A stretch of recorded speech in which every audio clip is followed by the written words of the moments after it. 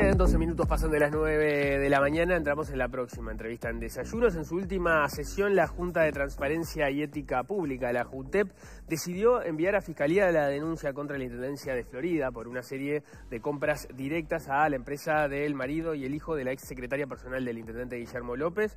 Además, a raíz de la reinterpretación de una normativa, desarchivó dos casos vinculados al Frente Amplio, el uso del hospital policial por parte del senador Charles Carrera y el envío de remeras y mochilas por parte de la Intendencia de Montevideo para una campaña contra la LUC. Vamos a estar hablando de esas decisiones. Para eso recibimos a Gabriela Dilongo, presidenta de la JUTEP. Bienvenida, ¿cómo le va? Muchas gracias, buenos días, gracias por la invitación. primero, eh, empiezo por otro lado, que es este, un, llamamiento que quería hacer al sistema político para que cumplan con la ley. Estamos en plazo para que presenten declaraciones juradas. ¿Podemos explicar? Sí, eso es, eh, a raíz de que la ley, cuando los candidatos tienen la obligación de presentar declaraciones juradas 30 días antes del acto eleccionario, y muchos que después no siguen la función pública no, no saben y dejan de, presentarla y pasan a ser incumplidores, quedan un listado de incumplidores, pero la JUTEP queremos hacer proactivos porque que queden como incumplidores no nos sirve, nos sirve que presenten las declaraciones juradas. Entonces enviamos mail a todos los partidos políticos eh, para que designen referentes. Esos referentes hoy se van a capacitar un grupo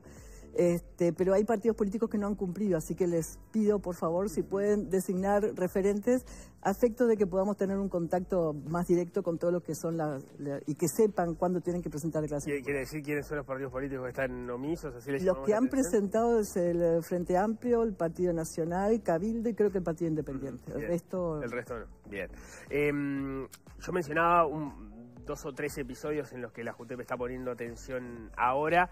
Es, un contexto en el cual se está viendo otro movimiento de la JUTEP. Alguien le podría llamar, bueno, estamos en campaña electoral. No, usted ha explicado en estos días que tiene que ver con que se ha reforzado la JUTEP en sus recursos humanos. Expliquemos qué es lo que está pasando con la JUTEP ahora. Sí, a raíz, a partir de marzo de este año, ingresaron por llamado tres abogados más. La JUTEP antes de marzo de este año contaba con una sola abogada, que también por un tema de salud del padre estuvo con licencia este, bastante tiempo el año pasado.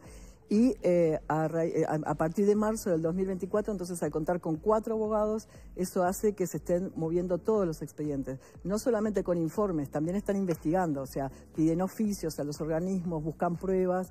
Entonces se están moviendo todos los expedientes que, estaban este, allí medios como no parados, lo que pasa es que con un solo profesional era muy difícil poder tenerse. Y eso quiere decir entonces que más allá de estos casos va a haber más novedades sobre otros asuntos en los cuales la JUTEP va, a expedir. Sí, sí, sí, claro. Sí, sí. ¿De los cuales podemos adelantar algo? Yo nunca, nunca uso la JUTEP eh, como un órgano político, sino que es técnico. Entonces sí hay de todos los partidos políticos y, van a salir este, informes. Este, algunos ya están. El contexto no deja de ser curioso porque este, este gobierno tenía en su compromiso por, por el país fortalecer la JUTEP. Hemos conversado en otros asuntos, eso no venía sucediendo en este periodo. Eh, más bien daba la impresión de que había hasta como una retirada de la JUTEP en relación a lo que había tenido eh, en, el gobierno pasado, por lo menos este, por, por, la proactividad que había mostrado con la estructura que tenía eh, para funcionar. Ahora que estamos llegando ya al final del periodo, incluso en campaña electoral, bueno, algunos de los pasos que se dieron para reforzarla, como por ejemplo la incorporación de recursos humanos, se van a empezar a notar más en un momento muy sensible como es una campaña electoral. En realidad, eh, yo siempre digo, no pueden comprar nunca la JUTEP de antes con la de ahora. Eran dos momentos distintos. Eh, las obligaciones que tenía, los cometidos que tenía la JUTEP antes del 2020 no tienen relación con, con las que este, surgieron a partir de la modificación. Por la ley de, Exacto. Entonces, eh, en realidad, en la rendición de cuentas, yo entré en el 2023, en la rendición de cuentas del 2022, fue que se le habilitó el llamado a tres abogados y a un contador. Como es año electivo este año, no llegamos al del contador, que va a quedar para el 2025, y en la rendición de cuentas de este año, del 2023, eh, se dio ya presupuesto para una eh, reestructura de la JUTEP que queda ya, lo pusieron ya en la rendición para el 2025.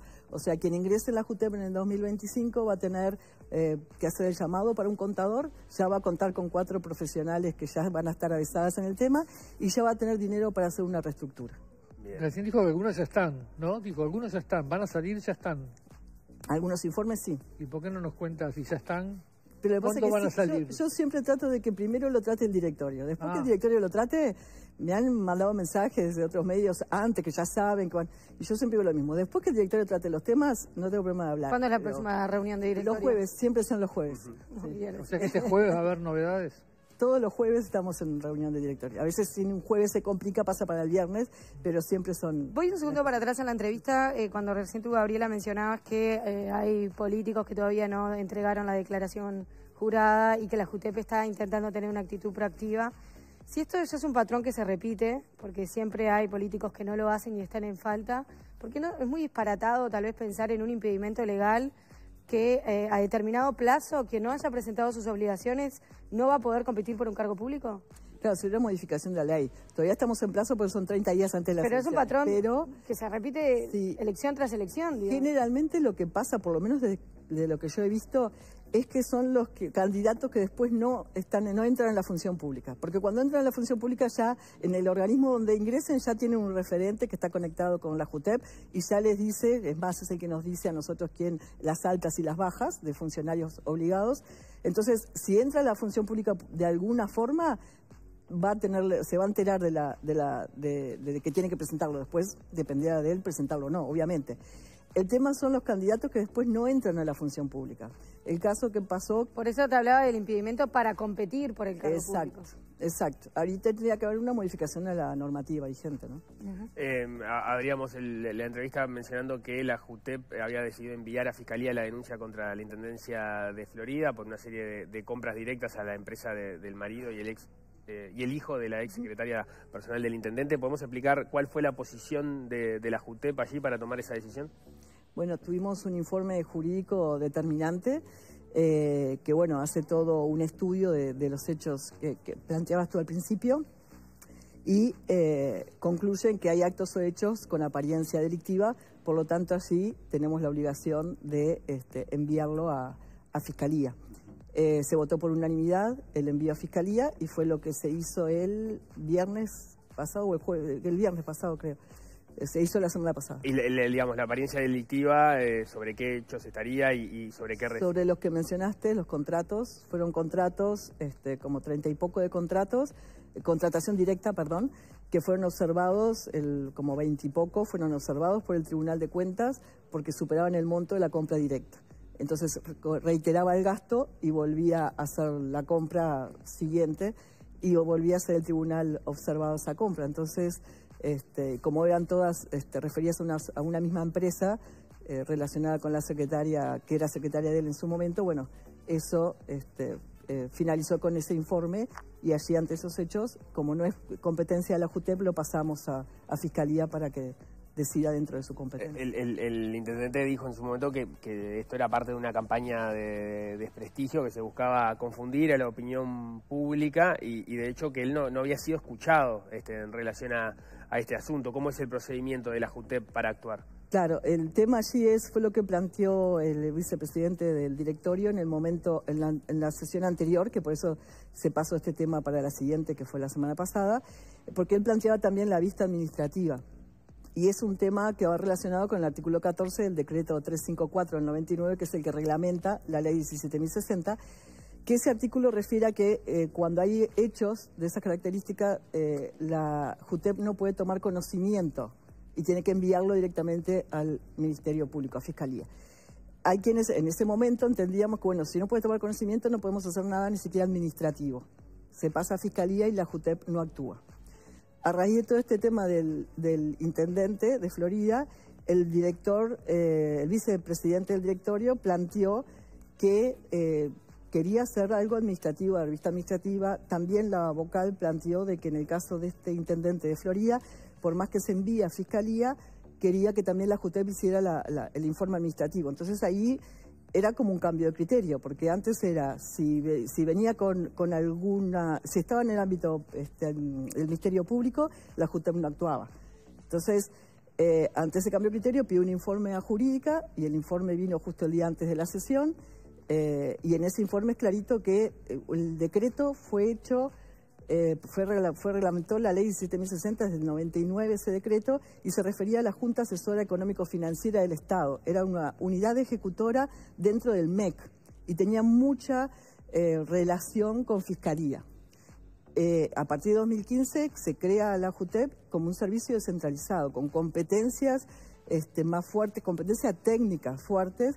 Entonces es como que ese decreto eh, no refiere ya a la JUTEP como servicio descentralizado. Por lo tanto, eh, ese informe concluye en que la JUTEP tiene que actuar en el ámbito que, es su competencia, que es la administrativa, a pesar de que esté en el ámbito penal, porque son dos ámbitos distintos. Y, y que es la lógica también, que si en el ámbito penal se configura el delito de la persona que se denunció, después el informe que va a pasar ahora con Caram, después el informe que salga de la JUTEP, es obvio. Quien cometió un delito, obviamente violó código de ética. El código de ética, algún artículo del código de ética violó por algo, es procesado. Entonces, como que quedaba desfigurada la, competencia de la JUTEP. Entonces, eh, se votó eso la semana pasada en directorio. El eh, vicepresidente y yo coincidimos con ese criterio que le da más potestades, no le da más potestades, sino que hace cumplir las competencias que la ley le dio a la JUTEP y, que la JUTEP empiece a funcionar como debe funcionar. Eh, y bueno, a raíz de eso, el vicepresidente pidió el desarchivo de esos dos casos que tú nombraste, pero no, son, no es desarchivo de casos que se trataron por el directorio. Eso hay que aclararlo. Los casos que fueron estudiados por el directorio actual, pasados, y son archivados, no se tocan. Ya hubo como quien dice, sentencia al respecto. Estos dos casos, cuando se plantearon el año pasado en directorio, la vocal planteó el artículo 14 del decreto y dijo que no debíamos ingresar en el tema administrativo porque estaba en la órbita penal. Y en su momento el directorio por mayoría eh, acompañó ese criterio. Al tener este informe jurídico, el criterio del, del directorio cambió entonces, ante ese cambio que se pide el desarchivo. Pero vuelvo a decir, estos dos casos no pasaron por directorio. Si quedaran archivados, quedarían a la espera de la órbita penal y después ver qué hace la JUTEP. Entonces, no son casos que fueron estudiados por directorio, archivados y se vuelven a sacar, porque ahí sí se estaría usando a la JUTEP políticamente. Pero perdón, entonces ahora me perdí. ¿Se desarchivan y quedan a la espera de la definición? No, no porque el nuevo criterio de la JUTEP es que va a actuar siempre en su competencia administrativa. Ahí está aunque esté en el ámbito penal. Eh, y, aunque vaya, por ejemplo, en el caso de Charles Carrera, que es uno de los este, elementos señalados, va muy por detrás de lo que va haciendo la, justicia. Eventualmente va a haber un fallo de, fiscalía resolviendo el tema, probablemente antes que la justicia, pero no necesariamente. No sabemos porque no, tenemos idea de cómo va a ser, pero eh, sí, nosotros tenemos que dar vista y sí, en el ámbito administrativo se da vista antes de, que salga una resolución final de, la JUTEP, se va a dar vista del informe. Este, pero aclaro eso porque hay gente que me ha preguntado, pero si van a desarchivar casos, es político. No, no, no se desarchivan casos que ya pasaron por directorio. Estos dos casos, al momento de pasar el año pasado por directorio, la vocal planteó ese tema y el, resto del directorio la acompañó, por lo tanto quedó, es como un archivo pasivo, no, no, total, sino a la espera del tema penal. Entiendo, bien. Uno es el caso del uso del hospital policial por Charles Carrera, el otro...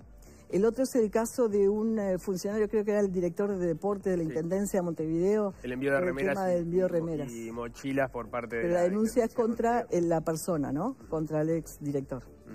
Eh, y, las actuaciones entonces sí implican la consulta a, los involucrados. Claro, ahora pasó a jurídica. Uno, uno ya tiene informe, el otro este, en aquel momento ya tenía el informe, pero por aplicación de este criterio este, se quedó ahí archivado, de lo que le decía. Eh, uno ya tiene informe, el otro pasó a jurídica para asesoría letrada para que haga el informe. Y, por ejemplo, en el caso este del intendente de Florida, que ya presentamos en la ahorita penal, también ya lo pasamos a asesoría para que hagan el informe administrativo. También en el caso de Caram. O sea, todos esos también se está, la, la, JUTEP va a empezar a actuar en su competencia administrativa. Hablando del caso Caram, que ya dijo recién que hay, ya hay una, resolución tomada, va a ser de los que se va a conocer el jueves, supongo. No, no, porque la resolución que se tomó la semana pasada fue el pase a asesoría letrada para que hagan el informe. Ah, ok. O sea, se va con cierto retraso. Porque lo que pasa es que con el criterio anterior, eh, lo que estaba en la justicia, nosotros no, no, no nos metíamos. No, por eso que cuando la vocal del Frente Amplio pidió tratar el caso Caram, ¿no se lo trató en marzo? No, lo que, claro, lo que pasa es que eh, ella pidió tratarlo y ya estaba en la órbita de la justicia. Y como teníamos todos estos casos, eh, de, los que nombró él, ya aplicando ese criterio, si bien no pasó por directorio, en realidad el caso Caram estaba todavía en jurídica estaba todavía en asesoría letrada, no había salido el informe de asesoría letrada. Cuando, cuando planteó la vocal, se trató, se pasó asesoría letrada y vuelvo a decir, recién ahora se estaba moviendo. Entonces, sí, la JUTEP en algunos casos va más atrás que, la justicia. El, otro caso que ha sido muy comentado durante este periodo es el de el senador Juan Sartori. ¿En qué está su situación en este momento? En el caso de Juan Sartori, eh, se declaró omiso en primer momento porque en su declaración jurada faltaba la declaración de los bienes de la cónyuge. Con esa declaración de omiso se notificó al, Parlamento y eh, para que efectuaran la retención del 50% del salario. Después había una denuncia que había llegado en el 2022, creo, 2021 a la JUTEP, con respecto, creo que 2022, con respecto a que en, en dos declaraciones juradas que él presentaba, sus bienes habían aumentado muchísimo de valor se le pidió información, él presentó alguna documentación, pero no toda la que solicitamos. Eh, él planteaba que eran empresas extranjeras y que tenía acciones, pero pedíamos prueba de eso, no solamente que lo escribiera. Eh, le, solicitamos toda esa prueba, no la presentó, entonces lo que resolvió la JUTEP es declararlo otra vez omiso, no podía, porque ya estaba. Entonces, eh, mantener su declaración de omiso también respecto a este tema. No solo la a la parte de los bienes, la falta de declaración de los bienes de la cónyuge, sino también a su, este, su declaración respecto a sus bienes. y bueno, en eso quedó. ¿Qué, impacto puede tener eh, este, este título de declararlo omiso? Es que ya se lo declaró en su momento. Entonces es la retención del 50% y después hay que ver los plazos. La ley es muy técnica en cuanto a los plazos para poder presentarse en un cargo público. Eh, hay todo un informe también que lo vamos a publicar que, que, hace la, parte de asesoría letrada respecto a esa interpretación. Eh, así que va, va, a depender de cuándo él deja, eh, cesa si vuelve enseguida a... O sea que no tenés presente ahora si él podría estar inhabilitado o no. depende cómo se actúe en ese momento, exacto, porque la ley habla de varios casos. En particular tenemos que ver cómo, cómo qué pasa en el caso concreto de él después. Lo, porque lo, que habíamos hablado en, su momento, que la eventualidad era que si él quisiera, eh, se mantiene como omiso y quiere ingresar nuevamente a una nueva legislatura, pongámosle en realidad, con esta declaración de omiso, la Corte Electoral podría inhabilitarlo para ejercer el cargo claro, público. ese es un criterio que va a tener que ver la Corte. O sea, ustedes ya eh, hicieron todo lo que podían hacer sobre ese frente. Eh, nosotros creo que, bueno, lo tenemos que hablar con el directorio, pero lo hemos hablado en forma informal eh, de, ayudarnos a ser proactivos en algunas cosas, porque creo que la, ley de, de la 17.060 no es conocida por todo el mundo. Eh, de, que no es el caso igual, ¿no? Porque este tema no es que sea por... No, no, no, pero hay que decir, eh, mandar a la Corte Electoral, también mandar a la Oficina Nacional del Servicio Civil, que antes, la Oficina Nacional del Servicio Civil, antes de contratar, cuando pasan los contratos de funcionarios, tendría que ver si ese funcionario es omiso, porque es lo que dice la ley, no podría seguir siendo funcionario. Entonces, eh, comunicarnos a través de oficios y de reuniones con la Oficina Nacional de Servicio Civil para que lo ponga como uno más de los elementos a tomar en cuenta cuando controla eso, y lo mismo con la Corte Electoral. Cuando controlan que los que se presentan, los candidatos, cumplan con toda la normativa, tengan presente también este caso. Pero estamos de acuerdo que esto es para eventualmente un nuevo periodo, no para la actualidad, o también hay una discusión sobre si un omiso debería o no seguir ostentando el cargo público en la actualidad. Lo que pasa es que un omiso, si, si sigue siendo funcionario, no puede volver, o sea, le retiene el 50%, pero después si él, cesa, no puede volver. Lo que pasa es que también la ley habla de cese o, cuando deja el cargo por un tiempo, o sea, es, la ley es muy técnica y habla de varios casos. ¿Se siente preparada usted como presidenta de la JUTEP y, a la JUTEP en general para que ahora se empiecen a mover más asuntos y aparezcan críticas como la que mencionaba de, que llegaba desde, Florida, de que hay cierta este, intencionalidad por parte de eh, las decisiones que se van tomando? Y si hay intencionalidad no lo entiendo porque, bueno, quizás hay intencionalidad, no sé, salió lo de Sartori, salió lo de lo del intendente de Florida, pero hay, quiero decir que no, entiendo la intencionalidad de él, capaz que porque justo son dos del Partido Nacional, pero fue votado por unanimidad por el, vicedirector que es del Partido Nacional, y hay más casos, lo que pasa que han salido, eh, porque salieron ahora los, los informes, el caso del intendente es del 2023, entonces eh, tenemos, se van a empezar a mover, pero yo no entiendo las críticas. Cuando la JUTEP no funciona, critican que la JUTEP no funciona. Cuando la JUTEP se comienza a funcionar, critican que la JUTEP comienza a funcionar. Yo soy técnica y como técnica en donde estoy ejecuto y cumplo. y después, bueno, respeto la opinión de cada uno. Político, por mi lado, seguro que no, y el directorio este no es político porque las votaciones han surgido unánimemente y no han cambiado ningún director. O sea, han votado todos en contra de, hasta su propio partido y no han cambiado de directorio. Entonces, este, es importante. Que eso también es un tema que hoy cuando planteaste la, diferencia de, la JUTEP, eh, hay que tener en cuenta que de 2020 para acá la JUTEP tuvo dos cambios de directores. Y eso influye, o sea, una pandemia, dos cambios de directores. No es fácil un organismo que, que tiene tanta cosa, o sea, que amplió su competencia, empieza ese cambio de competencia, esa ampliación de competencia con, un, eh, con una pandemia. Después cambian de directores una vez, otra vez. O sea, es, complicado, pero está por eso también fue que, este, viendo todo eso, el AJUTEP, eh, desde mi punto de vista, de este directorio, lo que hizo fue hacer como una memoria institucional. Cuando yo entré, era todo gracias a los funcionarios que venían y ayudaban. Ahora no, ahora cada sector tiene protocolos, tiene, está todo armado que si el directorio que venga puede cambiar los criterios. Pero mientras no haya director, la JUTEP puede seguir funcionando que eso es fundamental, que la JUTEP no se pare o se quede quieta hasta que venga un directorio, diga, no, mientras aplican criterios. Durante este periodo hubo mucho tiempo donde no sesionaban los directorios de la, de la. ¿En el periodo mío? No. No, eh, ah, digo, en este periodo de, gobierno. Era, fue un problema de, la JUTEP en este, más allá de, del, del cambio que vino después con, su llegada. Em, porque ahí está la otra discusión que es muy este, naif, pero uno en el fondo tiene que decir, bueno, capaz que algo de eso hay, es una JUTEP celosa, vigilante y empoderada es un problema para cualquier eh, sistema político porque eh, aparecen este tipo de, dictámenes que son inconvenientes para, para los distintos dirigentes, ¿no? Exacto, pero eso hay que preguntarle a los políticos. A mí me pusieron al frente de un organismo que yo donde estoy eh, ejecuto.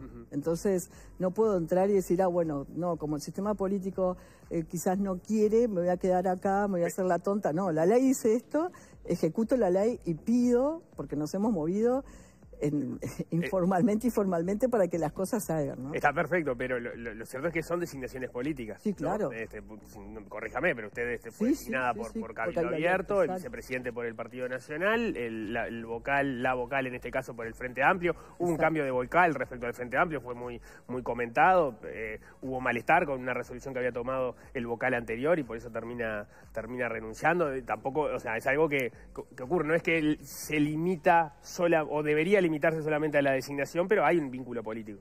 Sin lugar a dudas hay un vínculo político. Eh, yo planteo en el caso mío particular, eh, jamás tuve ni siquiera un llamado eh, del partido político que me puso en este cargo, porque saben que yo soy técnica.